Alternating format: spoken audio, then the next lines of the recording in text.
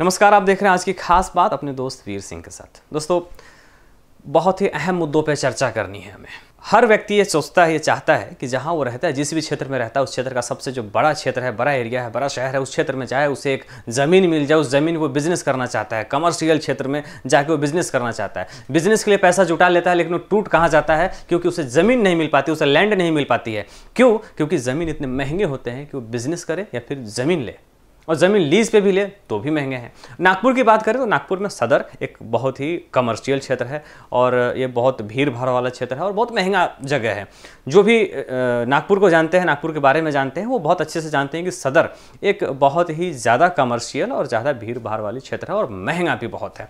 यहाँ पर तुली इंटरनेशनल एक होटल है, उस होटल के सामने एक पेट्रोल पम्प है, पेट्रोल पंप के बाजू में एक शोरूम खुल रहा है, जिसका नाम है गेसन्स गेसन्स के मालिक राहुल अग्रवाल हैं। अब गेसंस ने इस प्रॉपर्टी को C N I church of north India C N I N D T A Nagpur की एक संस्था है, उससे लीज पे लिया। सबसे पहली बात, लीज पे लिया, ठीक है। लीज पे इसे 29 साल के लिए दिया गया था। लेकिन बाद में फिर क्या समझा, पता नहीं। उस समझने के बाद में फिर इस लीज को कैंसिल, एग्रीमेंट को कैंसिल कर दिया गया। उसे सिर्फ़ पाँच साल के लिए बनाया गया। अब आप कल्पना कीजिए, ये जो आप शोरूम देख रहे हैं स्क्रीन पे, ये लगभग 3500 स्क्वायर फीट के आसपास में है टोटल बत्तीस से पैंतीस एक मान लेते हैं। लेकिन पेपर पे उनतीस सौ, उन्नीस सौ ही लिखा गया। यानी कि पंद्रह सोलह सौ स्क्वायर फीट हो सकता है कि अतिक्रमण का होगा। वो भी कमर्शियल क्षेत्र, ठीक है? अब आप सोचिए कि लगभग पैंतीस सौ स्क्वायर फीट ये जगह, इसका लीज भी हुआ होगा लीज एग्रीमेंट भी अगर करते हैं तो फिर ये कितना डिपॉजिट होना चाहिए? आप कल्पना कर सकते हैं। सिर्फ़ इन्होंने राहुल अग्रवाल ने गेसंस वालों ने एनडीटीओ को सिर्फ़ 28 लाख का डिपॉजिट किया है। वहीं जहाँ पे शोरूम है शोरूम के ठीक बाजू में, उसी जगह पे, यानी कि एकदम बाजू की हम बात करें तो वहीं पे, उसी क्षेत्र में 150 स्क्वायर फीट की एक शॉप है।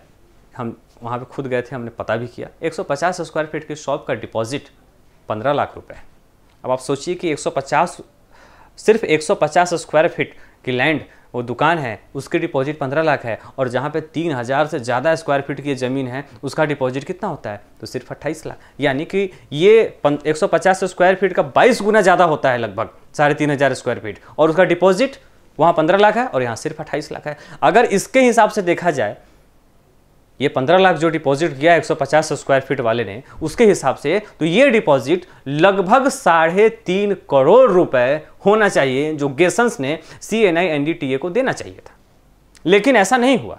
अब साढ़े तीन करोड़ का एक फ़र्क और अट्ठाईस लाख का एक डिपॉजिट अब सोचिए कि इतना बड़ा फ़र्क कैसे हो सकता है। हिंदुस्तान में कई बार देखा गया है कि धर्म के नाम पे कई बार पैसे का लेन देन देखने को हमें मिलते आया है।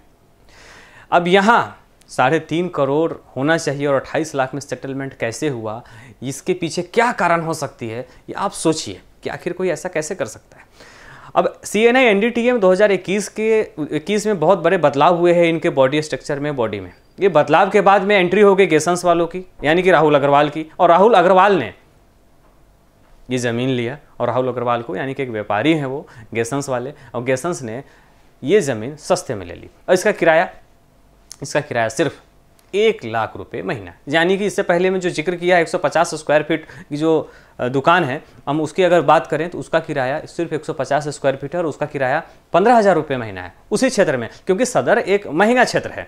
इसीलिए, लेकिन सोचिए अब 150 स्क्वायर फीट अब उसका किराया पंद्रह हज़ार रुपये अब ये लगभग पूरा गिनेंगे आप तो साढ़े तीन हज़ार स्क्वायर फीट के आसपास आपको मिलेगा। अब उसमें इसका किराया कितना होना चाहिए? कितने लाख होना चाहिए? ये आप अंदाज़ा लगा दीजिए, क्योंकि लगभग बाईस गुना ज़्यादा है। तो किराया भी लगभग बीस बाईस गुना ज़्यादा होना चाहिए, लेकिन किराया सिर्फ़ एक लाख रुपये प्रति महीना यानी कि इस क्षेत्र में अगर इसको हम डिवाइड कर दीजिए, साढ़े तीन हज़ार स्क्वायर फीट और एक लाख का रेंट अगर हम पर मंथ अगर डिवाइड कर दे तो आपको पता है, प्रति स्क्वायर फीट प्रति महीना कितना होता है? लगभग तैंतीस रुपये प्रति महीना। अब आप कल्पना कर सकते हैं कि सदर जैसे क्षेत्र में तैंतीस रुपये प्रति स्क्वायर प्रति महीना अगर आपको ज़मीन मिले तो कितना अच्छा होगा।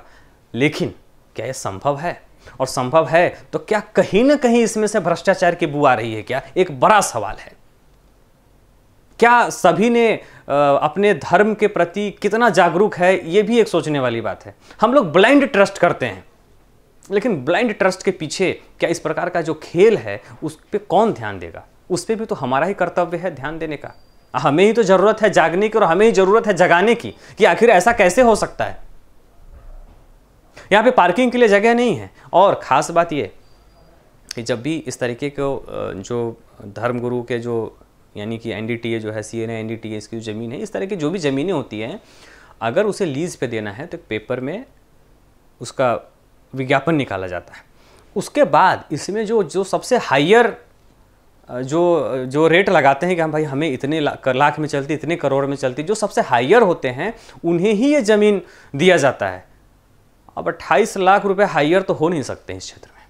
अगर अभी विज्ञापन निकाल दिया जाए तो मुझे लगता है कि दो तीन करोड़ तो ऐसे ही हाइयर मिल जाएँगे, क्योंकि अट्ठाईस लाख तो हाइयर हो नहीं सकते इस क्षेत्र में। बिल्कुल नहीं हो सकते।